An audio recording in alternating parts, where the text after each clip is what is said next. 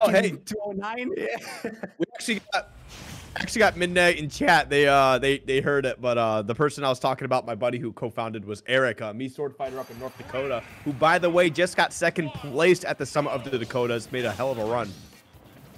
Well, this matchup is going to be interesting because both of them are heavily projectile based. However, however, they do can capitalize a lot from their uh, close quarter interactions. So it's going to be very interesting to see how much uh, Hedgy is going to take advantage of the insane damage that his projectiles can deal, especially the versatility that they have, in contrast with the reliability that Dark Samus's projectiles can bring to the table. It's going to be insane. This matchup is going to be really something else. You don't want to miss it. Absolutely. I mean, we'll see how it all plays out. But the problem here is that, yeah, Hedgy's been playing pretty strong, but like Midnight is just got strong fundamentals. Can honestly, I mean, they've gotten this far doing random and whatever, but like they can play a lot of characters at a very, very high level. So, I mean, Hedgy's going to be having their hands full the entire way through.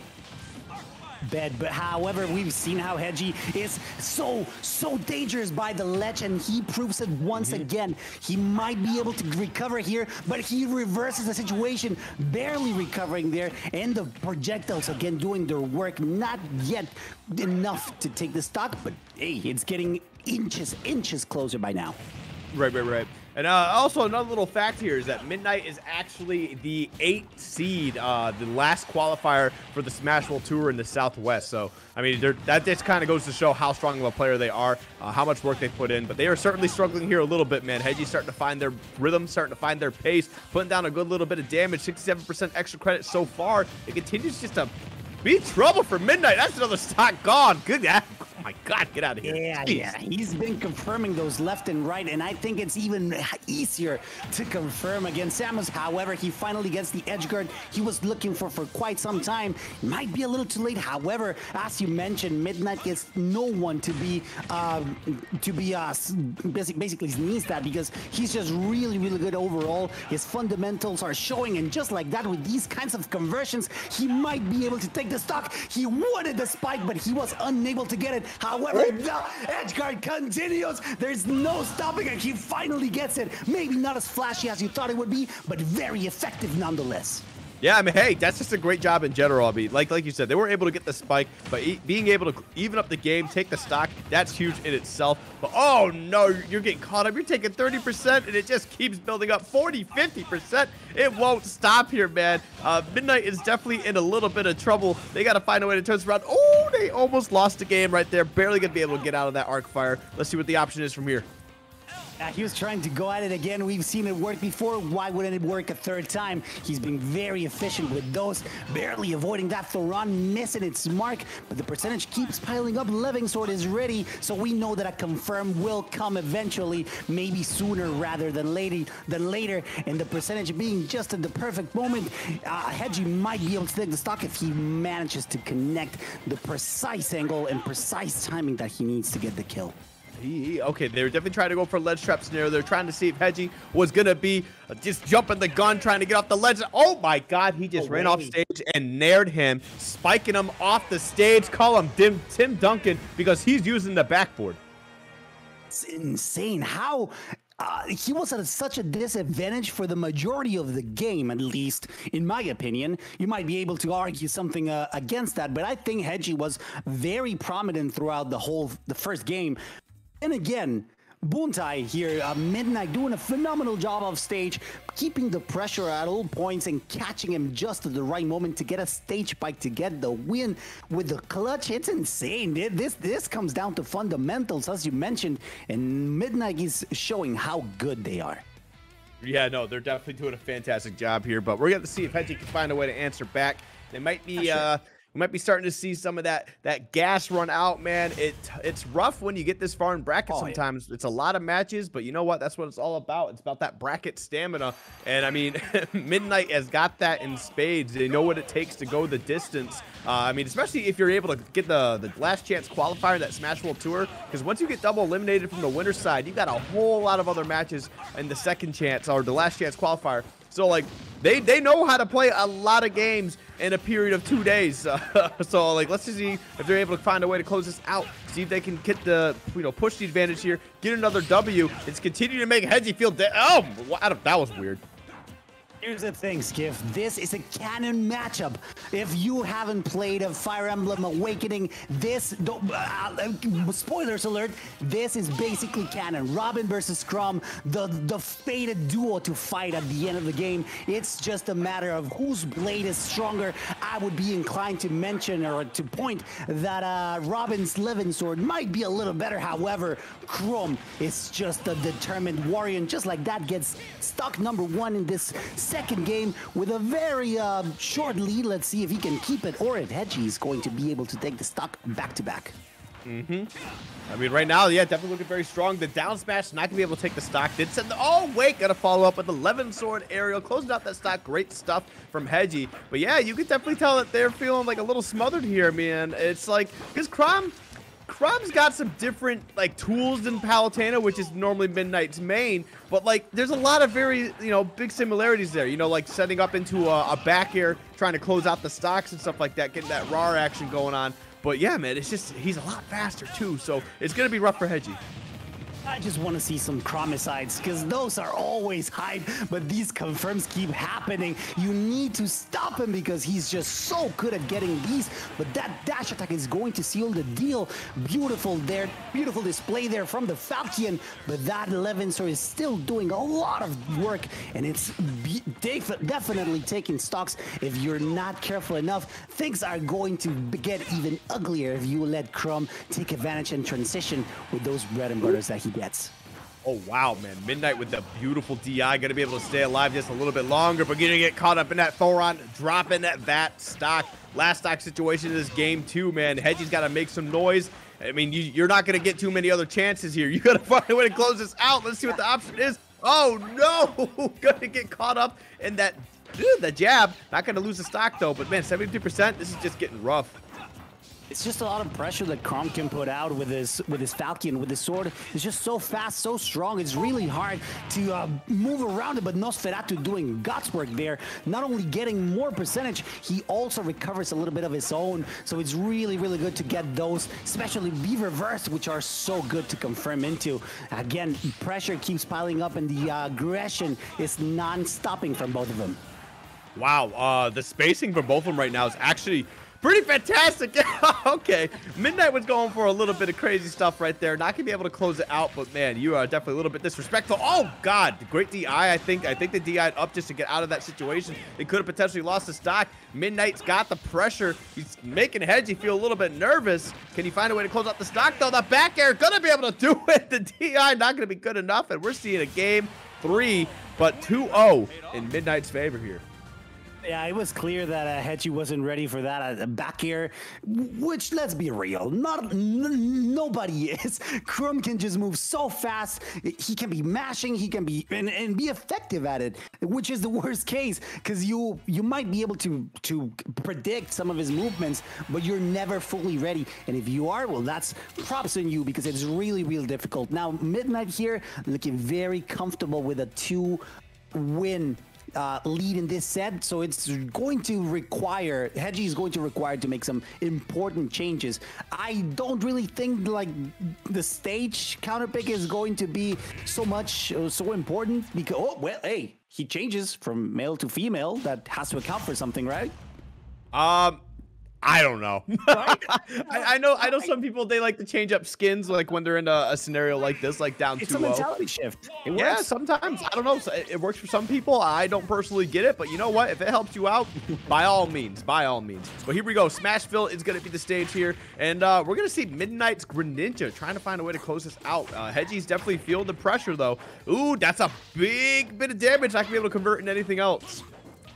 Yeah, it's gonna be it's an interesting matchup. As I was uh, what I was trying to say earlier about the uh, the stage counter pick not being too important is because exactly Buntai Midnight here is going random. So how can you counter stage someone that you don't know who is going to get as a character? So this comes down to fundamentals and the fact that Greninja versus Robin can be so volatile because uh, yeah, Greninja oh. is really really lightweight, really weak to get stocks, it's still very easy to confirm things like these. And even the uh, the water jet from that LB can be devastating for a sortie such as Robin.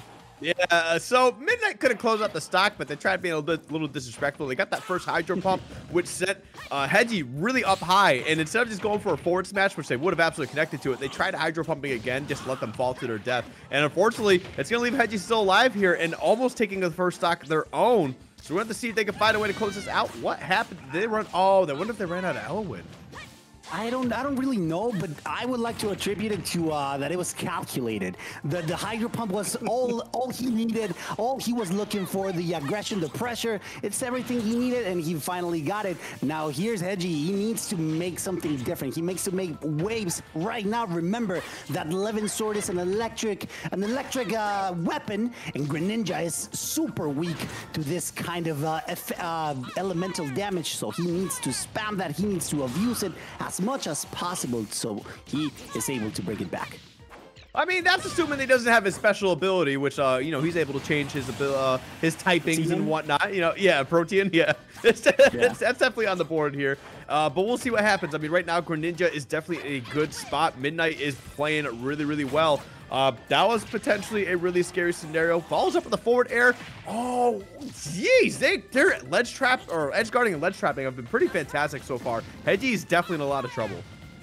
Yeah, and it's uh, the, the, low profile of Greninja is working on a lot of things, especially oh, trying to get the spike, unable to do so. But the percentage, the, I'm sorry, the aggression keeps going, and he's trying to get something aggressive, and he finally gets it. The down tilt into the forward air, just really good. That's something that you want to see a lot more. And as I mentioned, the low profile of Greninja is definitely contributing to um, Hedgy missing those Hellfires, those confirms that he's so reliant on, or at least he's so good at. The fact that Greninja moves so fast and he's so low to the ground, it's making it ever so harder to get him, and he almost gets the stock here. Yeah, he's definitely going for some crazy cheese. Just keeping the pressure off stage just nonstop, man. Hedgy is just having trouble keeping up. Uh, okay, down air just to try to get past the stage so he can recover a lot more safely. But look at this, man. This damage is just nonstop. The pressure is just unrelenting, man. Midnight is absolutely killing it right there. Okay, gonna be able to get the back throw, putting him off stage, trying to get something going. Oh, ooh, okay. Arc Thunder. And there we go. Gonna be able to close out that stock. Mm -hmm. Yeah, super effective. I'm telling you, electric type attacks are definitely working here. However, the percentage is quickly piling up, and the aggression is the determining factor into to seeing who is going to get it. I would, I, I'm loving the way that Midnight Buntai fan here is playing so aggressive with Greninja. I think it's a playstyle that it's absolutely required in this matchup, and he's taking the most advantage of. And gets the re, gets this beautiful extension there with the flyers into the up smash, something that we haven't seen at least with this character character so far with Greninja, I'm, I'm trying to explain, and it's just insane how he might be able to bring us back into a, maybe a game five situation in this set. Yeah, honestly, really, really well played from Hedgy. They actually tried going for that a little bit earlier to try and find a way to take the stock, but we actually saw some pretty crazy DI from uh, Midnight just actually popping out the entire opposite direction, so we didn't see a follow-up for it. But either way, great stuff so far. Keeping them alive, you know, letting us all know that they are still in this set. It, it's not quite over yet. But um, yeah, who knows? Who knows? Going to be getting to a game four situation. I honestly wasn't expecting Hedgy to be able to turn that around, but hey, man, they able to, they were able to make it happen. Yeah, it's it's what I mentioned in the beginning, a very volatile matchup because, as you mentioned, and, and I think it's an extremely important factor to uh, keep track of. The DI, uh, it's really, it was really good on Midnight, avoiding those confirms. However, not only that, it's really hard for Robin to confirm with these kind of strings because Greninja's very is fast faller. He's very short. He's very low profile down to the ground. So it's really hard to catch him. Now with Villager, we might see a lot of pockets and a lot of no you reverse uno cards situations and i don't think that's something that uh, uh hedgy might be too prepared hopefully he is Oh, okay. Uh, we have to see how this villager plays out. I mean, this could be a real big problem, especially when that pocket comes into play. And not even just that, but villager can put down a lot of pressure. That forward air and back air are so disruptive. They're very quick moves, projectiles even then. And if you're able to do it like point blank, the hitbox on it uh, or the knockback is just absolutely incredible. You can close out some crazy stocks here. And man, I don't know what was going on with Midnight there. Just use pocket. I mean, you got a little bit of invulnerability. Yeah, it's something that you really can't take uh, out of commission at any point because Hedgy is Robin is going to capitalize on those situations. Oh, trying to get the bowling ball, but a masterful dodge, aerial maneuvers there from uh, Hedgy. Beautiful uh, recovery there, avoiding lethal damage. What would have been a clean and confirmed kill. Really well done. Wow, another rapid jab, and it won't stop. I think the tree behind him was actually keeping the rapid jab going. Oh, no, tough spot. Wow, they're actually going to be able to get back to stage. Great high recovery, early recovery to be able to survive just a little bit longer. The balloon's actually going to stop that one arc fire. Jeez. Yeah, but even then, it was a, just a confirm into an El Thunder, into a Thoron. It's just so good. The way that uh, Hedgy uses every single one of his tools is just a tactician's uh, best uh, tool, the brain. And it's something that he's working out just flawlessly. Listen, Skiff, I don't want to say I told you so, but I think the character swap from male to female is definitely working. I, I, a little bit. I'll, I'll attribute it a little bit, but this is, this is still random. This is still Midnight to random. I'm not gonna give it too much credit, but I'll give it a little bit of credit. You you have to believe in superstitions at some points. Give not everything is data, not everything is hard uh, proof or. Uh, oh, I believe in the science. I believe in the science, sir. sometimes you gotta believe, Skiff. And I think with this game uh, five situation in the set, I think this is the perfect moment for everybody in chat to believe because Hedgy has been trying his hardest. He's going for the reverse 3-0, and now we got a matchup for the ages. Robin versus Duck Hunt. Very, very obscure matchup. Yeah, you know, hey, I gotta hand it to Midnight for actually just sticking with the uh, the random here. I don't know if they've got a Duck Hunt. Duck Hunt is such an, a weird, obscure character. He's got a lot of crazy stuff going on. I like to kind of refer to this character as the poor man snake. They kind of have that uh, a similar option with a frame one can, uh, but we'll see if they're able to make it happen. I mean, Duck Hunt's got some crazy kill power, some incredible setups. It's just a matter of finding your way around Robin now.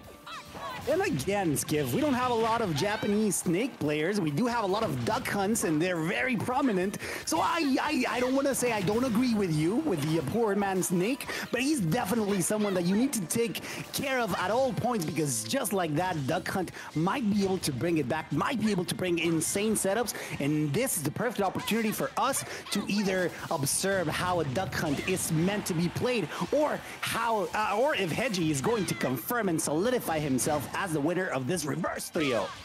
I mean, uh, there isn't just the Japanese um, uh, Duck Hunt players. I mean, actually gonna be able to close out the stack right there. You could also attribute to uh, some Duck Hunt players such as Wisdom. Uh, there's, right. there's Waka. Waka actually does play Duck Hunt outside of Luigi. And uh, who's another? Oh, uh, Zane. Zane's actually another fairly solid uh, duck hunt player. Uh, that's just all the, within the North America. Uh, outside that, you have Japanese players for for Snake. We do have Shogun. Uh, Shogun's actually really, really incredible. I was actually able to go, I think, game five against.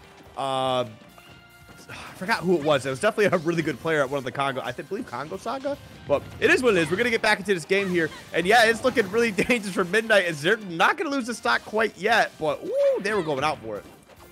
Yeah, he's definitely falling prey and victim to all of these frame traps, all of these setups that the Tradition can put out, especially with that Levin sword perfectly positioned at all times. He was trying to go for a hard read earlier, trying to read a roll. Very smart. However, we've seen that those edge guards are what confirm the most and the most effective too, because he's just dealing massive amount of damage still on his first stock. Levin sword going with a yeet, going all the way down to get a little bit of extra credit as you mentioned, and it's it's really good the way he's playing. He's not going to recover for that, is he? No, he's oh, not. No.